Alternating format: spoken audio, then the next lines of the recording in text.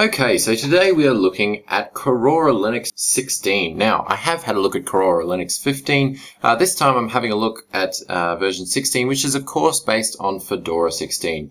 Uh, now, if you want links to either of those reviews for Kororaa 15 or Fedora 16, then you can click on the annotations here. But basically what Kororaa is, it is a uh, Fedora-based distribution that adds in all of the programs and codecs and all the fun stuff that an average desktop user needs. Fedora does leave a lot lacking when it comes to the stock standard shipping distribution. Uh, you have to set up a lot of stuff yourself, whereas Kororaa really makes it easy for you with all your favorite applications and uh, and tweaks and codecs and all of that fun stuff. Now, I have had a look at the GNOME 3 side of things in the previous release, uh, so this time I'm going to have a look at the KDE release. Now, the KDE release, of course, because it is based on Fedora 16, it, we are rocking version 4.7.2 of KDE, and then you have all of those uh, KDE applications that come with it. Uh, now, as far as a KDE distribution goes, it's actually pretty decent. You get a large selection of games. I mean, I'm not going to even bother going through all these because there is uh, quite a number of them. And under graphics, you get all of the top tier open source applications that you come to expect from a KDE distribution, including GIMP and the Inkscape vector graphics editor. Uh, then, of course, you also get uh, digiKam, Showfoto, and Gwenview. You also get Scribus in there as well, or Scribus, however you prefer to uh, however you prefer to pronounce it. And you also get a few ebook readers in there, and a font manager, and all, all the other standard KDE tools that we all know and love. So we've got a fair few tools there under graphics, and really they chuck a lot of software in here, and this is a 1.6 gigabyte download. So although it is a decent sized download, you do get all the software that you could possibly want out of the box, which is nice. Uh, under internet, you've got all of your needs covered there. VoIP phone, mail clients, IRCs, instant messages, feed readers, blogging, BitTorrent, you name it. And you've got Firefox for your web browsing, and then all of the standard KDE tools. Now, the other no nice thing here that I have noticed in these menus is that all the menus are uh, are basically program as in app category driven. So instead of saying KTorrent, the main heading is BitTorrent client. So that way new users who come in here uh, find much easier time to, uh, to come across applications because by default they are labeled by what they do, not uh, by their names, which come on, they can be a bit weird. Choqok and Linphone and Kopete and all of those names. They are, they do have them as subtitles, as you can see, but the, uh, but the primary title and the one that catches your eye is uh, the function that that app fills, which makes a lot more sense in the long run, makes it a lot easier for new users, and uh, and really Kororaa as a distribution uh, does make its efforts to uh, be an out-of-the-box uh, di uh, distribution that fills the needs of new users uh, who do like the Fedora base or at least need that support or have liked it in the past. Definitely very convenient in that it doesn't take half as much time to set up. Uh, now under multimedia, of course, we've got all the best stuff here. Uh, Amarok. Yeah, I do prefer Clementine to Amarok, but Amarok is still fine. We've got an audio tagger, CD ripper, and all that other fun stuff. Disc burner, DVD ripper. We've got Handbrake there, VLC, Audacity, Kdenlive, and all of those other standard KDE tools. We also have the Dragon player for your default video player. Uh, we, well, we also got JuK in there, which recently featured on OMG Ubuntu. Uh, I'll throw a link in the description box as well. Um, now, under the Office, we've got LibreOffice 3.4, so nothing exciting there because we all know how LibreOffice rolls.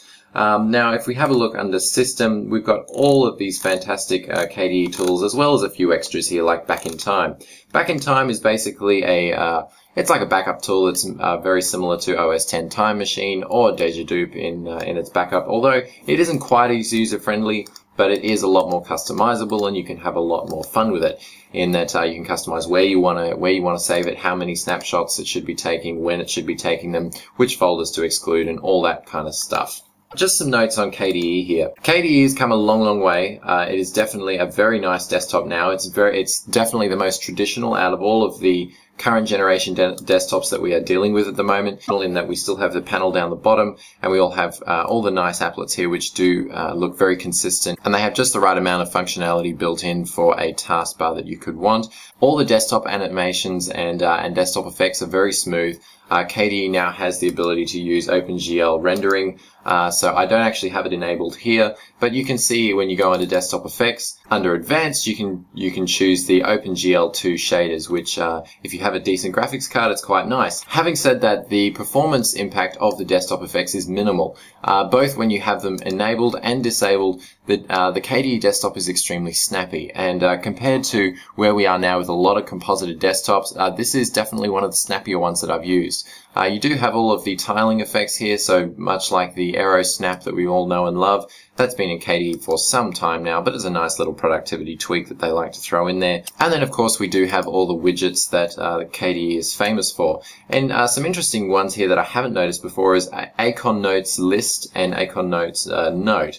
Now, I'm not exactly sure what these are, but judging by the name, they apparently tie into the Akonadi server, which uh, which basically is a, is a way to tie in all your information with the KDE applications. Definitely ties in all its applications very nicely, and any native KDE application. So, for instance, if you have Gwenview or possibly uh, digiKam or any of those uh, native KDE applications, you can easily come in here with all kinds of plugins and it will have all of the uh, it'll have all kinds of import and export functionality here uh, just built into the built into the apps which is pretty which is pretty fantastic I mean you've just got all these options here you can choose from and you can import from all of these options here as well uh, now the other nice thing is that then when these applications need to speak to each other, they usually do so through Akonadi. Now Akonadi is basically a KDE uh, server tool which just helps to keep all of the information synchronized between applications. The notes that you put on the desktop will then be able to synchronize into other applications, and you can also throw in uh, other plugins here uh, depending on what you have in the repos. You can install functionality for things like Google Data,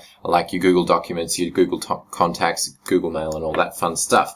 And then once you've got that, you can tie that in with the Kontact Personal Information Manager suite, and it keeps everything synchronized and neat and tidy for you, which is pretty fantastic. And Kontact in itself is quite a uh, an amazing alternative to Outlook and most of the applications that uh, that, that a lot of enterprises use. Uh, we have a time tracker built in here. It keeps a log of what you're doing and for how long, so that it makes it easy for billing purposes. Pop-up notes, uh, notebooks can all be synchronized via Akonadi notes and local notes, which is very, very slick. As we've seen before, you can now have those desktop widgets that sync into your uh, into your notebooks here in Kontact.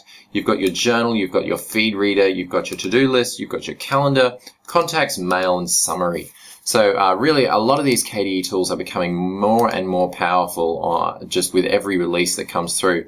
And with KDE 4.8 around the corner, it's going to be interesting to see uh, how they tie in the online services, uh, similar to how GNOME has with uh, with its uh, with its ability to import Google Contacts and documents and things of that nature. As it is based on Fedora 16, you do get a lot of the performance. Uh, you do get a lot of the performance perks that Fedora 16 touted with uh, with its systemd as a replacement for SysV. So boot up time is very snappy. Battery life is just fine.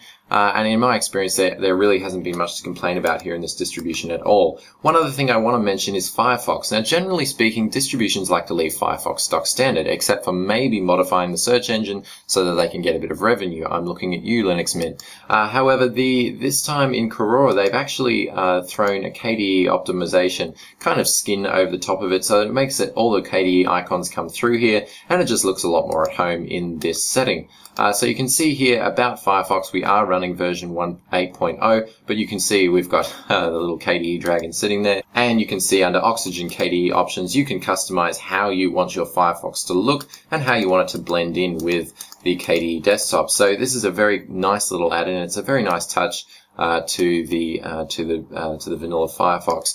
Uh, it's just good to see that the developers of this distribution uh, are thinking about these little things and making it easier for the new user and making it slightly more consistent user experience.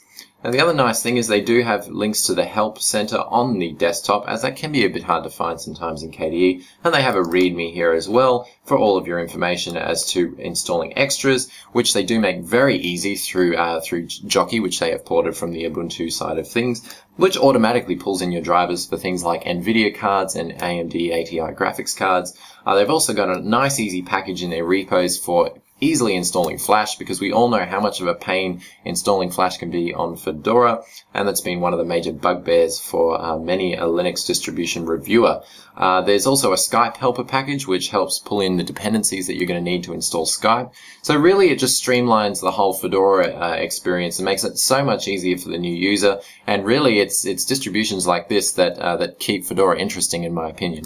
Uh, stock standard Fedora really doesn't have much going for it. Technically, it does have a lot of uh, cool technology that I've mentioned in my Fedora 16 review, but uh, seeing a distribution like Kororaa capitalizing on that technology and making it nice and easy and accessible for the new user, and uh, and just giving them information that they need up front with uh, with nice, easy to navigate menus, a healthy selection of default applications, uh, and then building, of course, on that on that stable uh, Fedora base, and overall, it's it's it's quite a polished user experience. So, am I going to hang here for any period of time? It all depends at this stage. I'm still experimenting with a few Ubuntu derivatives, but uh, but I definitely I used to be running Kororaa 15 uh, before the 11.10 Ubuntu cycle came around, and I was very impressed with it. I was running the GNOME 3 desktop, uh, and this time, obviously, I'm running the KDE 4.7.2 desktop. So, uh, I mean, both of them I have not had any issues with at all. They're very convenient to set up.